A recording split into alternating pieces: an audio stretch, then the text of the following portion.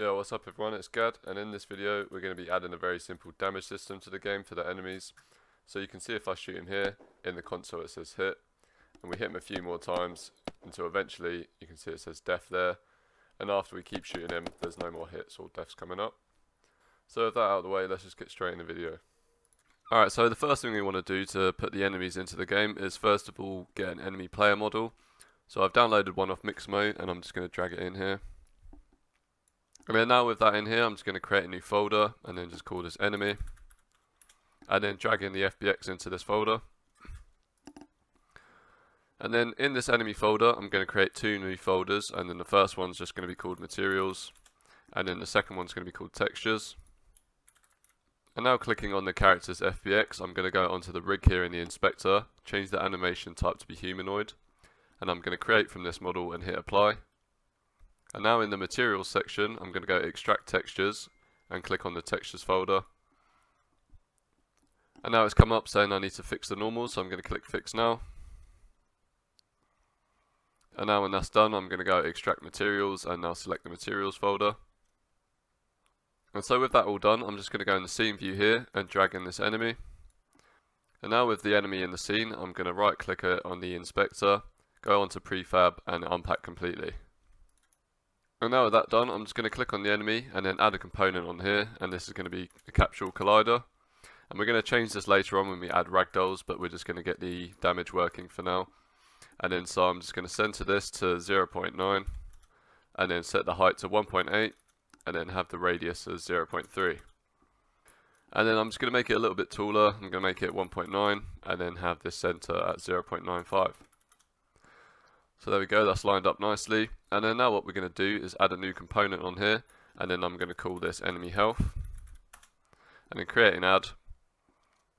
And then I'm just going to double click it to open it up. And now with this open, I'm going to get rid of the start and update function for now.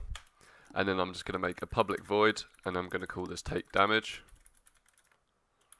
And then here we want to pass in a float, and this is going to be the damage.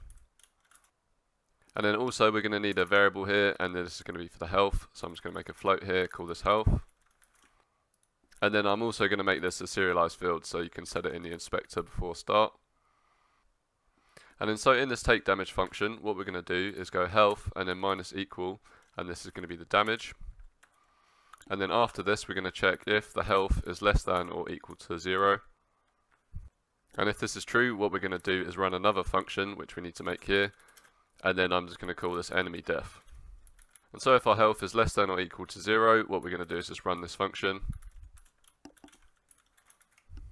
And then for now, just underneath here again, I'm just going to write debug.log. And in here, I'm just going to print out hit.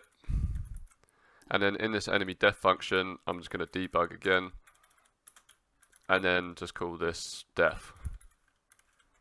And so now we need to actually trigger this function. And then to do that, it's going to be in the bullet. So what I'm going to do is in the assets in my scripts folder and open up this bullet script we have here.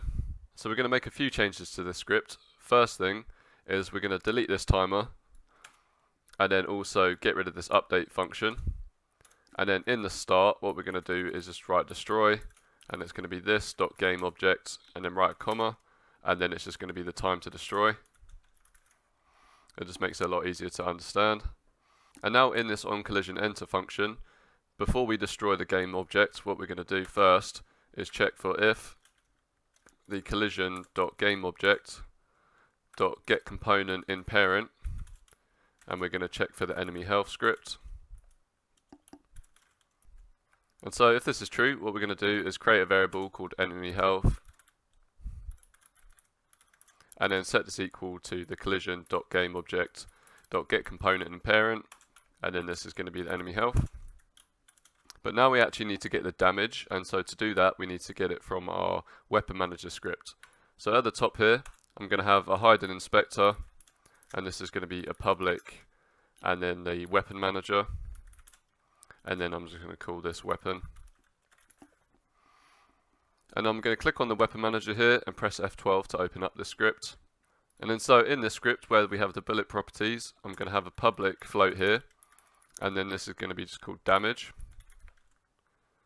And then I'm going to set this equal to 20 by default. And then if we scroll down as well for when we fire, you can see that we get the current bullet here. And so what we need to do is set the weapon manager when we spawn our bullet. So I'm going to create a new line underneath where we spawn the bullet. And so here, what we need to do first is get a reference to the bullet script. So I'm just going to write in bullet here and then call this bullet. But we've already got a variable called bullet, so I'm just going to call this bullet script. And then set this equal to the current bullet dot get component. And then this is going to be the bullet. And then finally, under this, we're just going to go bullet script and then dot weapon and set this equal to this.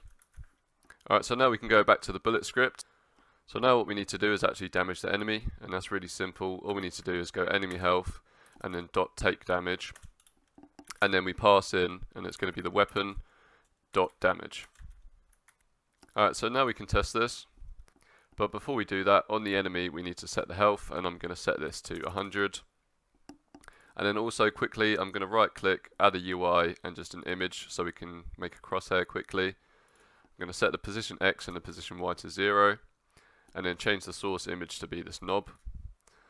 Go on the game view and then I'm just going to change the width to be 10 and the height to 10 as well. And then I'm just going to make the color red so it's a bit easier to see. Alright, so now we can test this.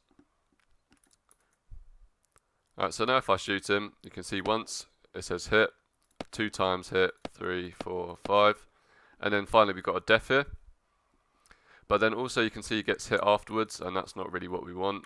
So back in the enemy health script, all we need to do right at the top here is just check if health is greater than zero.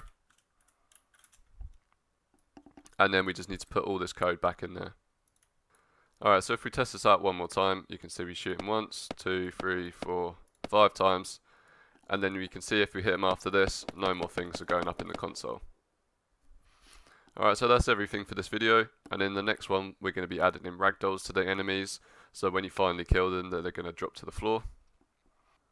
So thanks for watching, I'll see you in the next one. Bye.